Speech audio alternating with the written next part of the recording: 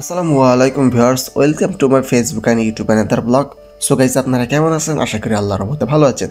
আজ আমরা দেখব যে বড় বড় ফ্যাক্টরির জন্য যে বিদ্যুতের লাইনটা রয়েছে, সেই লাইনে কীভাবে তার লাগায় সেটা আমরা দেখব।